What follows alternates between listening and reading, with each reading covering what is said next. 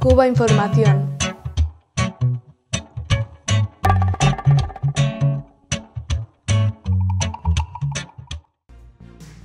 La dictadura global ha prohibido los medios rusos. Nadie debe conocer otra versión sobre el conflicto de Ucrania que no sea la de la OTAN y el Estado ucraniano, en cuyo ejército se integran de manera abierta fuerzas neonazis.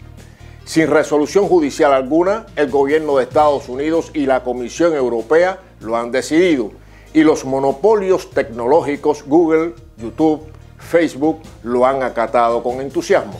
Han borrado del mapa, por ejemplo, a RT en español, el canal más seguido en Latinoamérica, o los trabajos de la periodista Inna Afinogenova, que tenía más de un millón de seguidores. La censura tiene además carácter retroactivo. Google ha hecho desaparecer de su buscador los contenidos de medios rusos. Ha desaparecido el único o casi único espacio mediático de envergadura para decenas de analistas de izquierda en el mundo, Russia Today.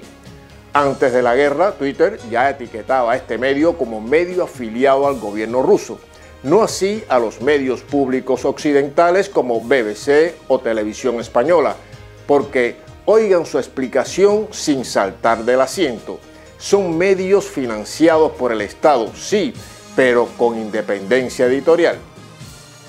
Es la guerra, nos dicen. Por eso, cuando acusen a Cuba de violar la libertad de prensa de periodistas y medios pagados por la Casa Blanca, les recordaremos que Cuba lleva 60 años en guerra. Y a Twitter, que en las cuentas de Diario de Cuba y Cubanet les falta colocar una etiqueta medio afiliado al gobierno de Estados Unidos.